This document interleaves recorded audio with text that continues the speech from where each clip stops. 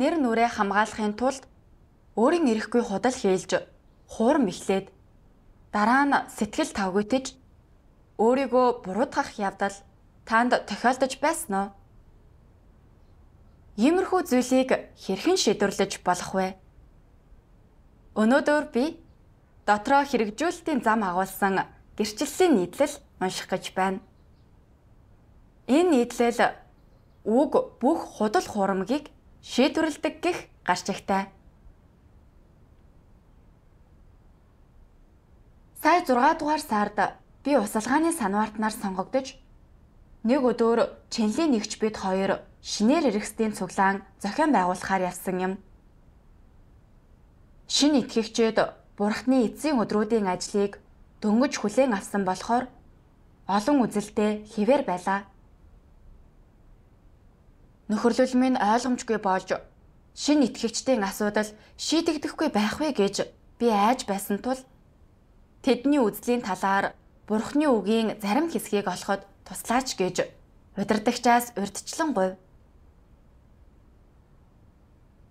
Цуглааны өдөр би шин итгэгчдийн үзлийн талаар урдаас бэлтгэсэн Бурхны үгэн дээр нөхөрлөхдөө ариун сүнсний гэгэрэл удирдамжийг мэдэрч тэдний үзэл шийдвэрлэгдсэн юм.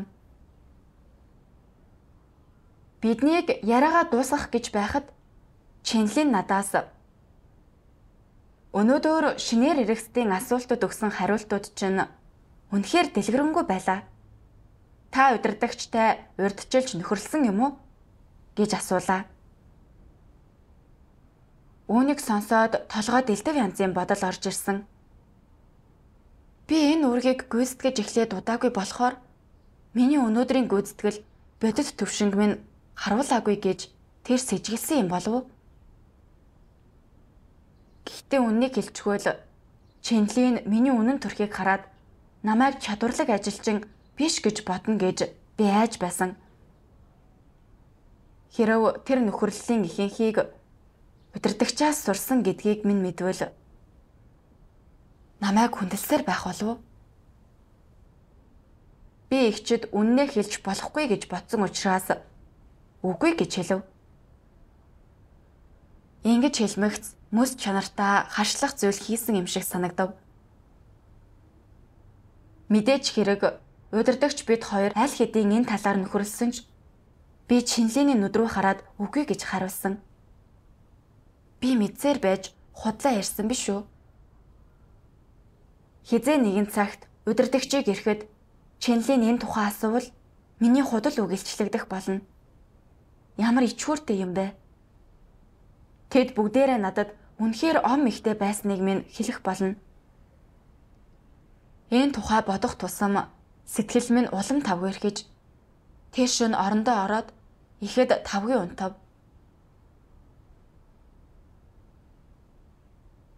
Маргааш нь би Чинлийн сэтгэлээ нээх гэж байсан ч хэлэх гэсэн үг аман дээр гарч ирсэн ч чадаагүй. Хэрвээ хэлчихвэл Чинлийн намайг дорд үзэж намайг чадваргүй хүлээн зөвшөөрөгдөж байр суурьтай болоход хит их анхаардаг гэж бодно гэхээс айсан юм. Чинлийн намайг ийм өчөөхөн зүйл дээр худал хэлэх үз үнэхээр залтай гэж хэлж магад. Энэ бүхнийг бодож үзсний эцэст би юу ч хэлээгүй. Гэртээ харах замдаа Бурхан үнэн ч хүнд дуртай гэдгийг та нар мэдэх учиртай гэх Бурхны үгийг бодоод бүрч их буруутай санагдав. Ганц ч үнэн зүйл хэлж чадахгүй байгаа би яаж бурханд таалагддаг үнэнч шудраг хүн байж чадах юм бэ? Зүрх сэтгэлийг минь маш хүнд зүйл дарж байгаа юм шиг санагдаж маш муухай байсан. Би өөрөөсөө Бурхан залжин худалч хүмүүсийг үзен яддаг гэдгийг би маш сайн мэддэг байж үннийг хэлэхэд яагаад ийм хэцүү байдаг юм бэ гэж асуусан. Үүнийг эргцүүлж байхдаа би ганцхан зүйлийн талаар худлаа яриагүй. Бусад зүйл дээрч үргэлж тийм байснаа ойлгосон. Нэг удаа удирдахч биднээс Сар бүр хэдэн шинээр хэрэгсдгийг усалж чадахыг асуусан юм. Би ууг ажилд шинээр орсон. Зарчмуудыг нь сайн ойлгоогүй байсан болохоор тийм ч олныг хариуцаж чаддаггүй байлаа. Гэхдээ би үннээ хэлэх юм бол удирдагч намайг дутууд улмаг энэ ажилд тохирохгүй гэж хэлэхгүй гэж айсандаа тоогоо жаахан нэмж хэлсэн. Миний тоо хангалттай өндөр байсан ч санаа амрахгүй. Өөрийгөө мэддэггүй. Шин итгэгчдэйг сайн усалж чадахгүй. Амийн оролтыг нь саатуулсан минь хожим нь илчлэгдэхгүй гэж би айж байв. Гэхдээ би хэдийн хилчгсэн болохоор удирдагчтай элен даламгийн байхаас ичиж би шантралгүй үргэлжлүүлэх хэрэгтэй болсон. Мөн хэдхэн хоногийн өмнө удирдагч надаас нэг шинээр ирсэн хүний асуудлыг шийдэхэд хэр хугацаа зарцуулсныг асуув. Би эхэндээ тэр шинэ хүний үзлийг бүрэн ойлгоогүй болохоор нэлээд хэдэн удаа нөхөрлсөн юм. Удирдагчийг энэ талаар асуухад үннээ хэлбэл удирдагч намайг хэв чанар муутай гэхвэ гэж би айсан. Ийм жижиг асуудал дээр олон удаа нөхөрлөх хэрэгтэй болсон нь намайг чадваргүй үр дүнгээ харагдуулж магадгүй тул дүр төрхөө хамгаалахын тулд би нэг удаагийн нөхөрлөлөөр шийдсэн гэж худлаа хэлв. Дараа нь сэтгэл санаа тавгүйрхэж хизээ нэгэн цагт илчлэгдэх вэ гэж айлаа. Зан авраа эргээд харахад би дүр төрхөө хамгаалж Хүмүүст сайхан сэтгэгдэл төрүүлэх гэсэндээ маш их худлаа ярддаг байснаа олж харсан. Би харанхуйд зовлон шаналл дунд үнэн шудраг хүн байх бурхны стандартаас маш хол амьдарч байсан. Ах эгч нар үнэн шудраг хүн болж ом ихтэй ууг чанараа шийдвэрлэхийн төлөө ажиллаж байгааг би бодлоо. Зарим нь бүр өөрийн гэрчлэлийг бичсэн байсан. Гэтэл би олон жил итгэсэн ч одоо хүртэл маш их худлаа ярьдаг. Ердөөч үнэн ч шудраг биш. Ингиж итгэсээр байвал бурхан намайг таягдан хаях нь гарцаагүй. Би шалавхан залбирч Бурхан минь би танд олон жил итгэсэн. Би одоо ч гэсэн өөрийн ашиг сонирхол хөндөгдвөл худлаа ярьж мэхэлсээр байгаа нь таны дургу хүрэгдэг. Би ийм байдлаар үргэлжлүүлэхийг хүсэхгүй байна. Худлаа ярддаг асуудлаа шийдвэрлэхэд минь залж чиглүүлээч гэлээ. Би сүнслэг үйл ажиллагааны үеэр энэ хэсгийг уншсан юм. Хүмүүс өдөр тутмын амьдралдаа дэмий, худал, мэдлэггүй, тэнэг, зөвтгсөн их зүйл хэлдэг. Угтаа тэд Үүнийг бахархлынхаа төлөө нэрлэхүү байдлаа хангах гэж ийм зүйл хэлдэг. Тинхүү худал хэлэх нь завхарсан зан чанар нь гарч ирж байгаа хэрэг юм. Энэхүү завхарлыг шийдвэрлэвэл зүрх сэтгэл чинь цэвэрлэгдэнэ. Ингэснээрээ чамайг улам цэвэр, үнэн шудраг болгоно. Үнэн дээр хүмүүс бүгдээрээ яагаад худал хэлдгээ мэддэг. Ашиг сонирхол нэр нүүр, нэрлэхүү зан байр суурийнхаа төлөө тэгдэг. Өөрсдийгөө бусадтай харьцуулаад хэр чадлаасаа давсан зүйлийг хийдэг. Үр дүнд нь худал хэлсэн нь ил болж бусад хүн нэгт харж харин ч нэр нүүр ёс жудаг нэр хүндээ алдахад хүрдэг. Энэ бол хитрхи их худал хэлсний үр дүн юм. Хитрхи их худал хэлэх үед хэлдэг үг бүр чинь холцтой байдаг. Бүгд хуурамч, аль нь үнэн зөв, баримттай байж чаддаггүй. Худал хэлээд нэр нүрээ алдахгүй байж магадгүй ч дотор чинь хэдийнэ гутамшигтай санагддаг. Мөс чанар чинь буруутгахыг мэдэрч өөрийгөө жигшиж дорд үзэн. Би яагаад ийм хөөрхөлөлтөй амьдардаг юм бэ? ганц юм үнэнчээр хэлэх үнэхээр тийм хэцүү гэж юу? Зөвхөн нэр нүрийн төлөө ингэж худал хэлэх хэрэгтэй гэж үү? Ингэж амьдрах яагаад ийм ядаргаатай юм бэ? Чи ядаргаатай биш байдлаар амьдрч болно. Үнэн ч шудраг хүн байж дадвал чи амархан эрэх чөлөөтэй амьдрч чадна. Харин нэр нүүр нэрлэхүү зангаа хамгаалахын тулд худал хэлхийг сонгвол амьдрал чинь маш залхмаар шаналгаатай байна. Энэ нь өөрөө өөртөө зовлон шаналл авчирч байгаа гэсэн үг юм. Худал хэлснээр олж авдаг нэр нүүр гэж юу юм бэ? Энэ бол хий хоосон ямар ч үн цэнгүй зүйл. Худал хэлэх үедээ чи нэр төр ёс жудгаасаа урвж байна. Ингиж худал хэлснийхээ төлөө хүмүүс нэр төр ёс жудгаа золиосолдог бөгөөд бурханд тэд онцгүй үзен ядмаар санагддаг. Тэгэх хэрэг байна уу? Огтхон ч үгүй. Энэ зөв зам мөн үү? Үгүй. Байн худал хилдэг хүмүүс сатаанлаг зан чанартай өргөтүүлэн бурхны гэрэлд бурхны өмнө биш сатааны ноёрхолдоор амьдардаг. Яаж худал хэлэх тухайга байнга бодох хэрэгтэй болж худал хэлснийхээ дараа түүнийг яаж нуун далдлах талаар бодох хэрэгтэй болдог хангалттай сайн нуун далдлахгүй бол худал хэлсэн чинь ил болдог учраас нуун далдлахын тулд тархиа гашилгах хэрэгтэй болдог. Ингиж амьдрах ядаргаатай биш гэж үү? Дэндүү ядаргаатай. Тэгэх хэрэг байна уу? Огтхон ч үгүй. Ердөөл нэрлэхүү зан байр суурийн төлөө худал хэлж түүнийгээ нуун далдлах гэж тархиа гашилгах ямар хэрэгтэй юм бэ?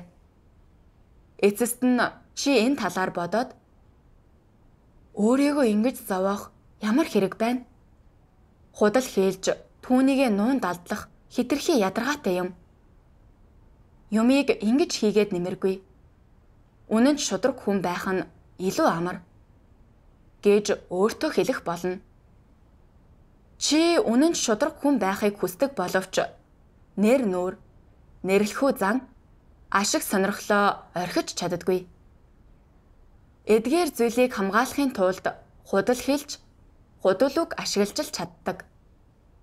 Худал үг ашигласнаар хүссэн нэр хүнд байр суурь бас хүү нэрлэхүү зангаа хамгаалж чадна гэж чи бодож магадгүй ч энэ бол том алдаа. Худал үгээр нэрлэхүү зан нэр хүндээ хамгаалж чадахгүй төдийгүй илүү ноцтой нь үннийг хэрэгжүүлж үнэнд шудраг хүн байх боломжоо алдахад хүрнэ.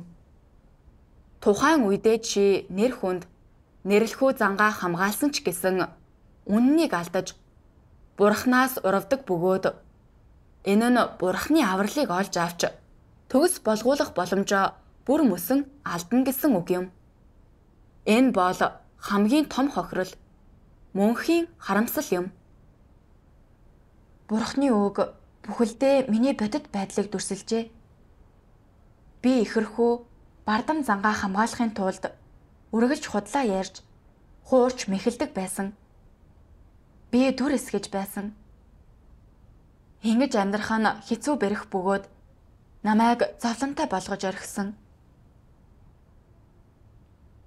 Намайг анх шин итгэгчдийг усалж эхлэхэд Чинлийн нөхөрлөлийг минь муугүй байгааг хараад намайг удирдагчтай нөхөрсөн эсхийг асуусан. Энэ үнэхээр энгийн асуулт байсан. Би зүгээр л тийм гэж хариулж чадах байсан ч үннээ хэлчихвэл тэр намайг дорд үзэхвэ гэж айж нэр хүндээ бодсондоо мэдсээр байж худлаа ярьсан. Мөн удирдагч биднээс сар бүр хідэн шинэ хүн усалж чадах вэ гэж асуухад би бодит чадвартай үндэслэж хариулаагүй. Баах тоо хэлбэл удирдахч намайг чадваргүй гэж хэлэхгүй гэж айгаад зориуд нэмж хэлсэн. Дараа нь би үүнийг зохицуулж чадахгүй байх вэ гэж санаа зовж үүргээ гүйцэтгэхдээ стресстэх нь туйлдаж ядармаар байсан. Би мөн шин итгэгчдийгч ийм байдлаар усалсан. Үнний талаар ойлголт нэмгэн тул шинээр ирсэн хүний асуудлыг шийдэхэд олон удаа нөхөрлөх хэрэгтэй байсан ч би удирдахч намайг юу гэж бодох бол гэж бодож байсан болохоор ердөө ганцхан удаа л нөхөрлсөн гэж хэлсэн. Би өөрийнхөө ихэрхүү бардан зангаа хамгаалж бусдад сайшаагдахын тулд удаа дараа худлаа ярьж хуурч мэхэлсэн. Би маш залжин хуурамч байж хэрэв үннээ хэлэхгүй бол бусад хүн болон удирдагч миний жинхэнэ ур чадварын төвшиг мэдэхгүй. Тэгээд би дүр төрхөө хамгаалж чадна гэж бодсон. Гэхдээ бурхан бүгдийг хардаг. Би бусдыг хуурч болохч бурхныг хизээж хуурч чадахгүй. Хэсэг хугацааны дараа бүх хүн намайг ялхан таних болно Тэд намайг үнний бодит байдлаар дутмаг байнга худлаа ярьдаг хүн байсныг олж харах болно. Үнэн дээр худлаа ярьсны дараа надад үнэхээр аимшигтай санагдсан. Би худал хуурмаг минь илчлэгдэж үнэн төрхөө харуулах өдөр ирэхүй гэхээс айж байлаа. Би нэр нүрээ алдаад зогсохгүй. Бусад хүн надад итгэхэ болох нь лавтай. Удаан хугацааны туршид санаа зовнил тавгүй байдал намайг зовоож ядаргаатай байсан. Би харанхуйд зовж шаналж байсан. Үргэлж худал хэлж, хуурч мэхэлж, үннийг хэрэгжүүлээгүй. Үнэн ч шудраг хүн байгаагүй тул зөвхөн миний аим хохироод зогсохгүй. Би ямар ч ёс жудаггүй амьдарч байсан нь Бурхныг жигшээдэг Би эзэн Есүсийн хэлсэн үгийг бодлоо. Үг чинь за бол за, үгүй бол үгүй байг. Учир нь эдгээрээс цаашх нь ёрын муугаас гардаг юм. Та нар эцэг диавлаасаа гаралтай бөгөөд эцгийнхээ хүслийг хийх болно. Тэр анханасаа алуурчин байсан ба түүнд ямар ч үнэн байхгүй тул үннийг баримталдаггүй. Худлаа хэлэхдээ тэр өөрөөсөө хэлдэг. Учир нь тэр бол худалч бөгөөд худал хурамгийн эцэг мөн. Бурхан үнэн шудраг хүмүүсийг таалдаг. Ом мэгтэй хүмүүсийг үзен яддаг.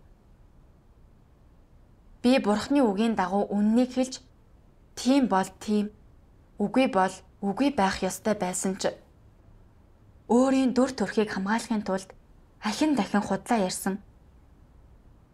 Энэ нь диавол сатанаас юугаараа ялгаатай юм бэ? Диавол үргэлж худал хилдэг. Огтхон ч үннийг ярьдаггүй. Тэр үед би ч бас нилээд худлаа ярьсан. Хэрв би гимшээгүй бол бурхан намайг таягдан хаях байсан нь гарцаагүй.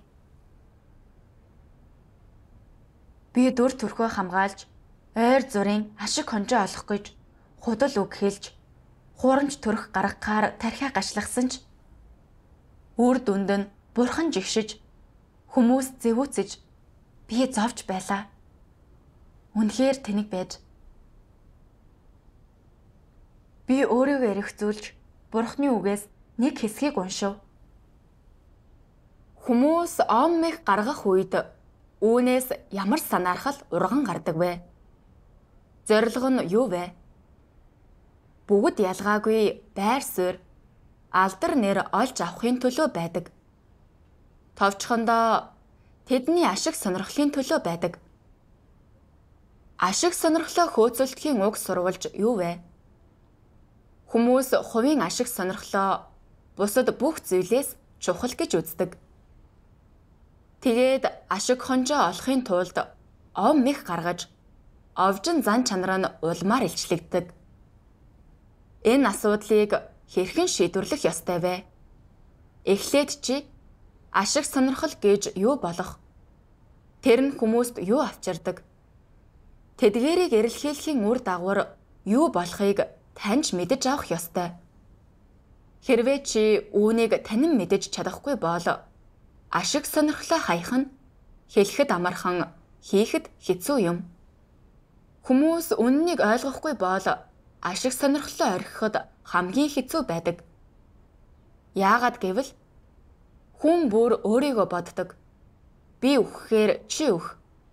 Хүн мөнгөний төлөө амьдрдаг гэдэг нь тэдний амьдралын гүн ухаан юм. Мэдээж тэд өөрсдийнхөө ашиг сонирхлын төлөө л амьдрдаг. Ашиг сонирхол нь байхгүй бол ашиг сонирхлоо алдах юм бол амьдрч чадахгүй гэж хүмүүс боддог. Амьдрал нь ашиг сонирхлоос нь салшгүй мэд байдаг тул ихэнх хүн өөрсдийнхөө ашиг сонирхлоос өөр юуг ч хардаггүй. Тэд ашиг сонирхлоо юм бүхнээс дээгүрт үзэж ашиг сонирхлынхоо төлөө л амьдрдаг ба тэднийг ашиг сонирхлоо орхиход хүргэнэ гэдэг бол амиа орхих гэж шаардахаас өөрсгүй. Ом мэгтэй хүн залхай, худал хэлэх дуртай, үннийг ярих дургүй, хийж байгаа зүйлээ бусад хүмүүсээс нуухаар үргэлж оролддог гэдгээ мэддэг байж магадгүй боловч үүнээсээ таашаал авч ингэж амьдрах сайхан юм.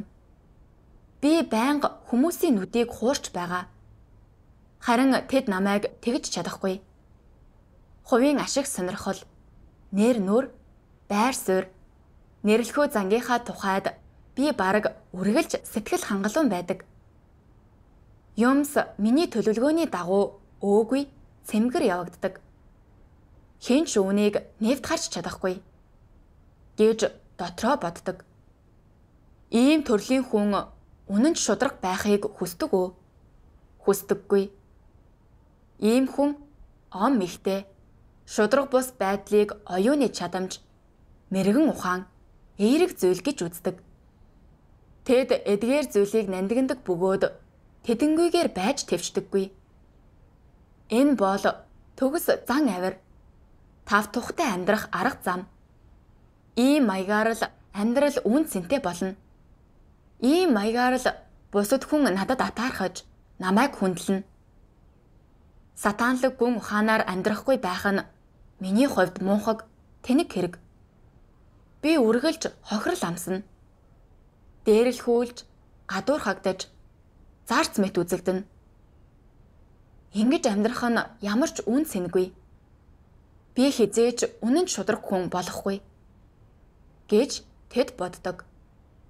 Ийм хүн ом ихтэй зан чанараа орхиод үнэн шудраг байхыг хэрэгжүүлэх үү?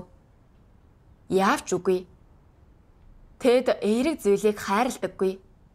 Гэрлийг хүсэн эрмэлздэггүй. Бурхны замыг юм уу үннийг хайрладаггүй. Тэд дэлхийн чиг хандлагыг дагах дуртай. Байр суурь нэр хүндэт дурлсан. Тэд бусдын дунд давуу байх дуртай. Тэд бол байр суурь нэр хүндийг дэмжигчэд. Тэд агуу алдартай хүмүүсийг хүнддэгдэг боловч үнэн хэрэгтээ тэд шүтгэрүүд болон сатаныг хүнддэгдэг зүрх сэтгэлдээ үннийг юм уу эерэг зүйлийг эрэлхийлдэггүй. Харин мэдлэгийг дэмждэг. Зүрх сэтгэлдээ тэд үннийг эрэлхийлж бурхныг гэрчилдэг хүмүүсийг сайшаадаггүй. Оронд нь онцгой авьяас бэлэгтэй хүмүүсийг сайшааж биширдэг. Тэд бурханд итгэх итгэлийн замаар алхаж үннийг эрэлхийлдэггүй.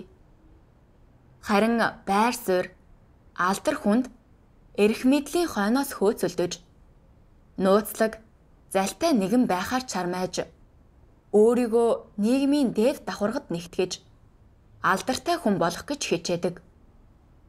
Тэд хаа явсан газар нь өөрсдийг нь бишрэн мэдчилж угтан авч байгаасаа гэж хүсдэг.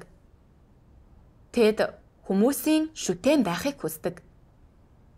Тэд тийм хүн байхыг хүсдэг. Энэ нь ямархуу зам бэ? Энэ бол чөтгөрүүдийн зам. Ёрын муугийн зам юм. Энэ нь бурханд итгэдэг хүний явдаггүй зам билээ. Хүмүүсийн хувийн итгэл үнэмшлийг луйвардаж өөрсдийгөө шүтүүлж дагуулахын тулд тэд сатааны гүн ухаан логикийг ашиглаж нөхцөл байдал бүрд сатааны явуулга башар зал болгоныг ашигладаг. Энэ нь бурханд итгэдэг хүмүүсийн алхах учиртай зам биш. Тийм хүмүүс аврагдахгүйгээр үл барам бурхны шийтгэлтэй тулгарна. Үүнд өчүүхэн төдийч эргэлзэж болохгүй. Бурхны үг надад яагаад ахин дахин худлаа ярьж хуурч мэхэлж чаддаг байсныг минь бас яагаад огтхонч илэн далангүй үнэн ч шудраг хүн байж зүрхлээгүйг минь харуулсан. Учир нь би ом мэгтэй уг чанартай болохоор тэр юм. Би үннээс залхсан. Эрэг зүйлд дургүй байсан. Би үннийг олж авахыг ирж хаан. Бурхныг баярлуулдаг хүн байхыг чухалчилж байсангүй. Харин ч хүн бүр өөрийгөө боддог. Хүн нэрээ тогос өдөө. Худлаа хэлэхгүйгээр юу ч бүтэхгүй гэх мэд сатанлаг гүн ухааны зэрэгцээ өөрийн дүр төрх ашиг сонирхлыг эрхэмлдэг байсан. Намайг баг байхад манай хамаатны нэгэн залуу дунд сургуулийн боловсралтай атлаа коллеж төгссөн гэж ярьдаг байв. Ямар нэгэн ур чадвар байхгүй гэдгийг илэрхий байхад тэр сурсан гэж өөрийгөө өргөж ярьдаг байсан. Ингиж худал хэлж дүр эсгэхт нь хүмүүс түүнийг дорд үзээгүйгээр үл барам хүндлэн биширч байсан. Энэ нь надад нөлөөлж Би өөрийн мэдэлгүй эдгээр сатанлаг хандлагыг зүрх сэтгэлдээ сайшаасан. Зарим үед худал үг үнэхээр асуудлыг шийдэж чадах юм шиг санагдаж зөвхөн бишрүүлээд зогсохгүй хүссэн зүйлээ ч авч магадгүй учраас би бурхны герт ирснийхээ дараа энэ үзлээр амьдарсаар байлаа. Ямар нэг зүйл миний дүр төрх ашиг сонирхолд нөлөөлбөл би өөрийн эрэхгүй худлаа ярьж мэхэлж дүр эсрэгдэг байв. Худлаа ярьсныхаа дараа буруутай мэд санагдсан ч бүх хүнтэй илэн далангүй байж зөрөхлөхгүй байсаар Ярав шулуун шудраг байвал намайг нэвч шувт харж муугар бодох вэ гэж айж байсан. Ингиж эвгүй байдалд орсны оронд намайг алчихсан дээр би үнэн үг хэлэхээс илүү харанхуйд зовлон дунд амьдрахыг илүүд үзэж улам хуурамч ом мэгтэй болж байлаа.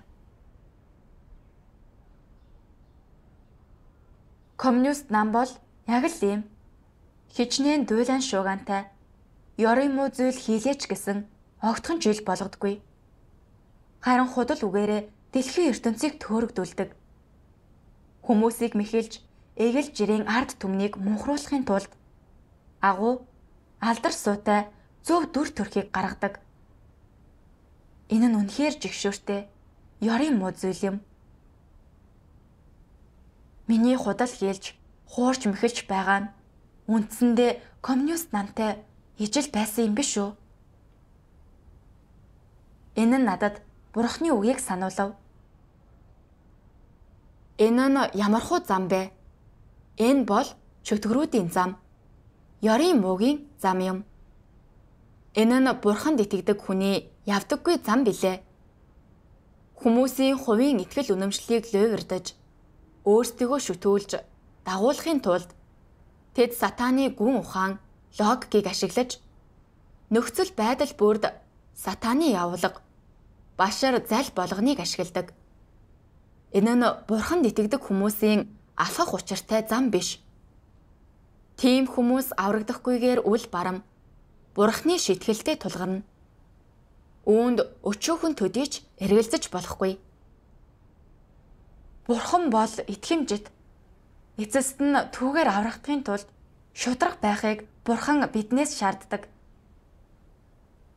Гэвч сатан бүхэл төрлийн гүн ухаан төөрөгдлийг ашиглан хүмүүсийг мэхэлж завхруулдаг бөгөөд биднийг нэр хүнд байр суурийнхаа төлөө байн худал хэлж хуурам эхэлж улам бүр хуурамч ом ихтэй болоход хүрэгдэг. Эцсийн дунд бид там дунаж хамтдаа шитгэгдэх болно.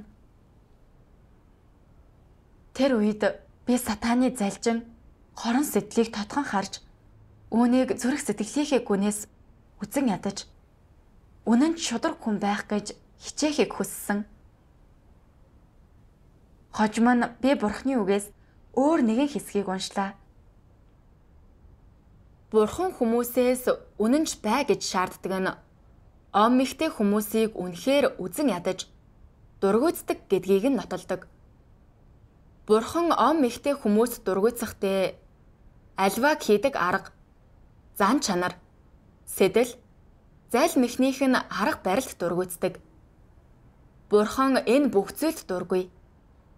Хэрв ом ихтэй хүмүүс үннийг хүлээн авч ом ихтэй зан чанараа таньж чаддаг.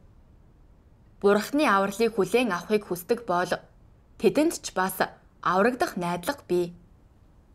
Учир нь Бурхан бүх хүнд эрэгтгш ханддаг. Үнэн ч мөн адил. Иймээс бид Бурханы таалалд нийцдэг хүмүүс болохыг хүсвэл юун түрүүнд бие авч явах зарчмаа өөрчлөх ёстой. Цаашид бид сатанлаг гүн ухааны дагуу амьдарч болохгүй. Худал хуурмаг, зайл мэхээр амиа арах цаач болохгүй. Харин бүх худал хуурмага хаяад үнэн шудраг хүн болох ёстой. Тэгвэл бидний талаарх бурхны үзэл бодол өөрчлөгдөнө. Хүн нь бусдын дунд амьдрахдаа байн худал хуурмаг, дүр эсгэлт, зайл мэхэнд найдаж сатанлаг гүн ухааныг өөрсдийн оршин тогтнолын үндэс өөрсдийн ам бие авч явахын суурь болгон ашигладаг байлаа. Энэ нь бурхны жигшдэг зүйл байсан. Шүтлэггүй хүмүүсийн дунд nii нууг ярьж үннийг хэлж үнэн шудрах хүн байх юм бол гүжирдүүлж шүүгдэж хаягдах учраас чи ертөнцийн чиг хандлагыг дагаж сатанлаг гүн ухааны дагуу амьдарч худал ярихдаа улам чадварлаг улам ом ихтэй болдог түүнчлэн зоригтой хүрч өөрийгөө хамгаалахын тулд хорон арга ашиглаж сурдаг. Тэгээд сатааны ертөнцид улам дэвшин дээшилж улмаар нүгэлд улам бүр гүнж ивсээр эцэст нь гарч чадхаа болдог. Бурхны гэрт альва зүйл шал эсэргээрээ байдаг. Худал хэлж хуурн мэхлэх тусам чинь Бурхны сонгосон хүмүүс чамаас залхаж чамайг хаяна гимшгээс татгалзаж сатанлаг гүн ухаан логиктэй зуралцаар байдаг бол мөн зүсээ хувиргах өөрийгөө нүүн далдлахын тулд хуйвалдаж нарийн арга сэддэг бол илчлэгдэж таягдан хаягдах тун магадлалтай. Учир нь бурхан ом ихтэй хүмүүсийг үзен яддаг.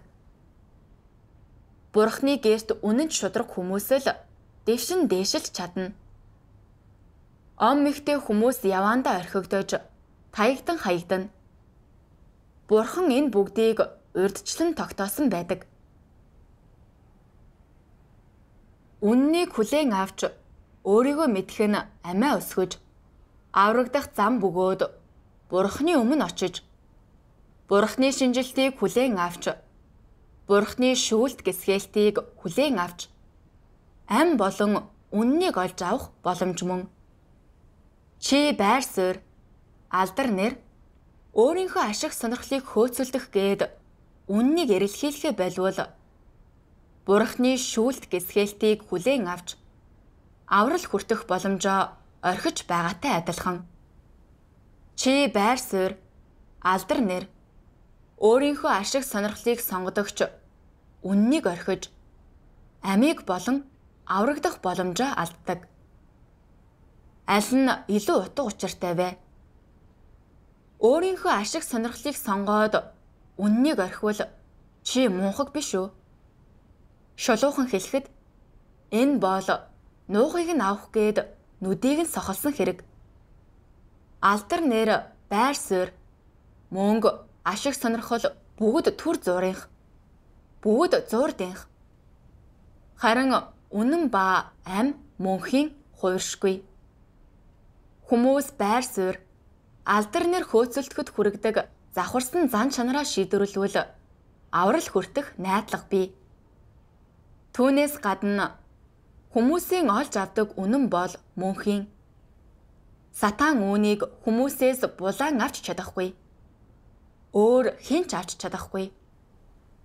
чи ашиг сонирхлоосоо татгалцсан боловч олж авсан зүйл чинь үнэн болон аврал. Эдгээр үр дүн бол чинийх. Чи тэднийг өөртөө олж авсан. Хүмүүс үннийг хэрэгжүүлэхээр сонголт хийвэл ашиг сонирхлоо алдлаач бурхны аврал мөн хамиг хүртэж байгаа хэрэг. Тийм хүмүүс хамгийн ухаалаг. Хэрв хүмүүс үннийг золиослон ашиг хонжоо олдог бол ам болон бурхны авралыг алддаг. Ийм хүмүүс хамгийн мунхаг юм. Бурхны үг надад үнэн шудраг хүн л аврагдаж Тэнгэрийн хаанчлалд орж чадна гэдгийг сануулсан. Ом ихтэй хүмүүсийг эцэст нь бурхан илчилж таягтан хаях болно.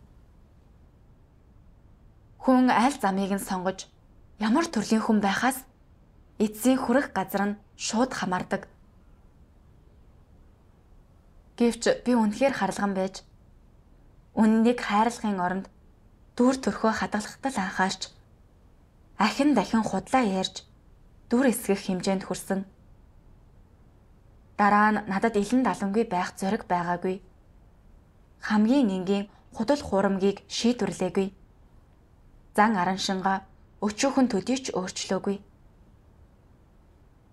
Хэрв би ийм маягаар итгэсээр байвал Яаж бурхнаар авруулах вэ? Нэр төрийг анхаарч хувийн ашиг хонжоо хайх нь ямар ч үн цэнгүй гэдгийг би олж харлаа. Чи ийм маягаар бусдын бишрэл дэмжлэгийг олж авч болохч үргэлж худлаа ярьж бурхны жигшлийг төрүүлж аврагдах боломжоо алдах хэрэггүй. Би үнэн шудраг хүн болох замыг хайж байхдаа Бурхны үгээс үүнийг олж харлаа. Үүссэн асуудал юу ч байлаа гэсэн шийдвэрлэхийн тулд үннийг ирж хайх ёстой. Дүр эсгэх юм уу бусдад зориулж хуурамч төрөх гаргаж огтхонч болохгүй.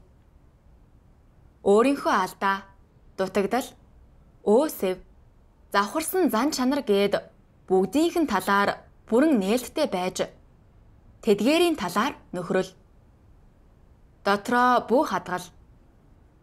Өөрийгөө нээж сурах нь аминд орох эхний алхам. Хамгийн эхний хамгийн хэцүү саад тодхор юм. Чи үүнийг давж гармагц үнэнд ороход амархан. Энэ алхмыг хийх нь юу гэлтэгдэг вэ?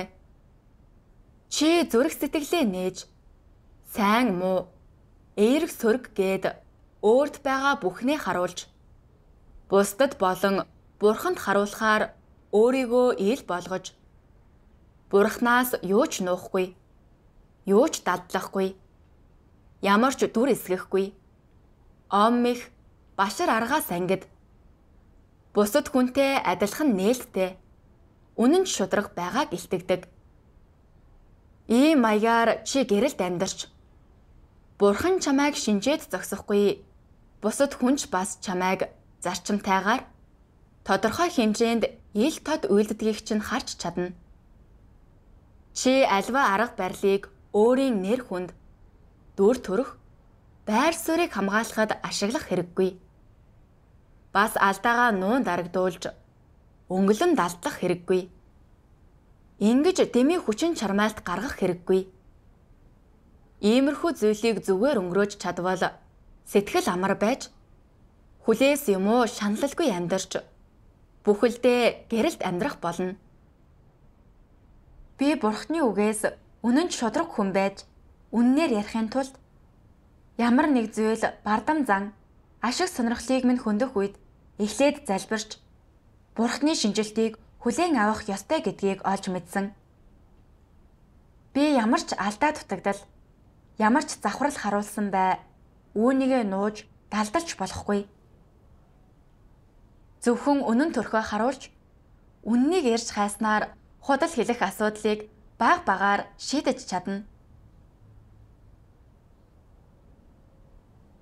Би ямар ч завхрал харуулсан, ямар ч алдаа дутагдaltaй байсан Бурхан үнэхээр маш тодорхой харж чаддаг тул би үнийг худлаа ярьж дүр эсгээд нууж чадахгүй. Бусад хүн намайг эхэндээ сайн мэдэхгүй байсан ч цаг хугацаа өнгөрөхөд хүн бүр намайг тодорхой харах болно. Би усалгааны ажлыг хариуцаж байсан ч энэ үүргийг анх хийж байгаа учраас олон дутагдaltaй байсаар байсан. Би шинээр ирсэн хүний үзэл асуудлын талаар сайн ойлгоогүй. Эсвэл сайн мэдэхгүй үнний талаар ойлгомжтой нөхөрлөж чадахгүй үед удирдгчийн тусламжийг ярьж хайх нь ичмээр зүйл огт биш. Ердийн л арга байсан. Би өөрийнхөө дутагдaltaй илэн далангийн нүүр тулж үннийг хэлж зүрхлэх, үннийг хэрэгжүүлэх, үнэн шудраг хүн байх хэрэгтэй байсан. Энэ бол урагшлах зөв зам юм. Энэ тухай бодох үед сэтгэл минь сэлмэж бурханд залбирч гэмшив. Би өөрийн нэр хүнд ашиг сонирхлын төлөө ярьж үйлдэлээ болж оронд нь бурхны үгийн дагуу хэрэгжүүлэх болно. Дараа нь би чинлийн нэгчтэй уулзаж худал хэлэхтэй холбоотой бүх асуудлаа түүнд хэлээд үнэхээр тайвширч эрх чөлөөг мэдрэв. Би дүр төрхийг маш их чухалчилдаг гэдгийг мэддэг байсан бөгөөд хүмүүс намайг юу гэж бодох бол гэдэгт үргэлж анхаардаг байсан. Ямар нэг зүйл болоход би нэр төр ашиг сонирхлаа хамгаалж өөрийн эрэхгүй худлаа ярьдаг байсан. Би бурханд залбирч зүрх сэтгэлийг минь харж хамгаалаач гэж гуйсаар байв. Тэгснээр би худлаа ярих гэж байгаагаа мэдээд чигээ хурдан өөрчилж нээлттэй үнэн шудраг хүн болж чадна.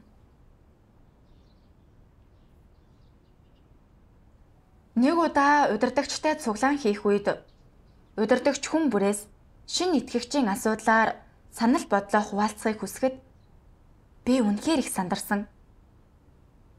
Тэнд байгаа удирдагч үнэн болон зарчмыг надаас илүү мэддэг. Би асуудлыг тодорхойлж чадах эсэх Миний зөвөө буруу юу? Гажуудал байгаа эсэх нь хормын дотор тодорхой болох байсан.